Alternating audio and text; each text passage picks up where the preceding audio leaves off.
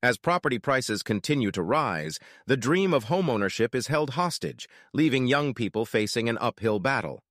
The traditional path to purchasing a home appears to be an insurmountable challenge. However, before exploring the innovative and imaginative solutions young people are devising, let's examine the current housing crisis. In 1970, the average house price was $23,000, and in 2020, the average house price was $392,000. Now, if we adjust for inflation, the average house price should be $153,000. So what is responsible for this gap between those prices? First, we have to look at how wages have changed over the last 50 years. Here we can look at the average wages in the U.S. from 1970 to 2020, and we can see a 800% wage growth. However, if we adjust the wages for inflation and compare the current wages to the average wage in 1970, we only see a 20% growth. That 20% growth does not make up for the $239,000 price difference we saw earlier. Remember this when we talk about mortgage payments later in the video. When wages are adjusted for inflation, it provides a more accurate picture of the purchasing power of those wages over time.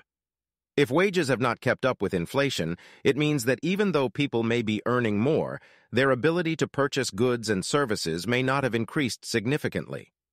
With only a 20% growth in real wages over a 50-year period, it suggests that the increase in wages has not kept pace with the rise in the cost of living. This can result in a relative decrease in people's ability to afford things compared to the past. In other words, although people may be earning more money, the cost of goods and services has also risen, and their purchasing power has not increased at the same rate.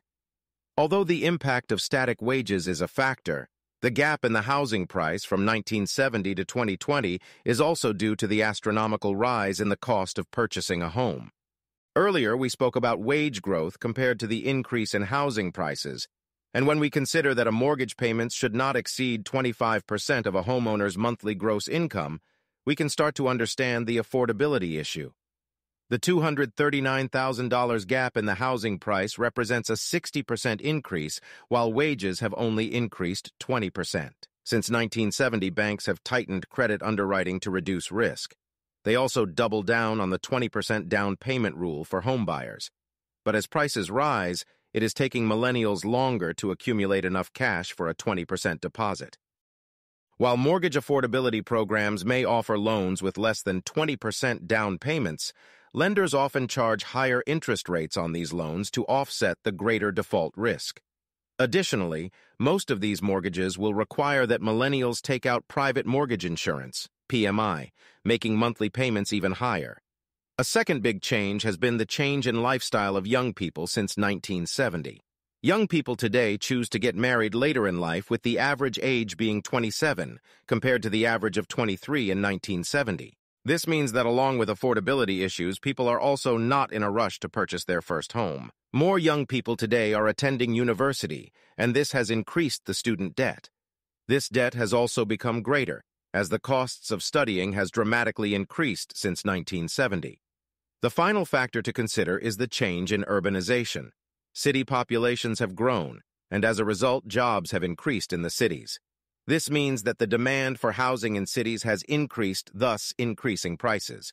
However, in a challenging market, here are the solutions that creative people are coming up with.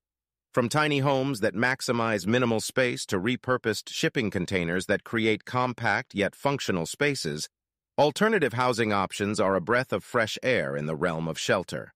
They promote eco-consciousness by utilizing recycled materials, incorporating renewable energy sources, and implementing efficient systems.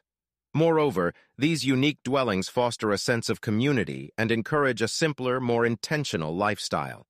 With their versatility and adaptability, alternative housing opens doors to affordable, eco-friendly, and distinctive living experiences.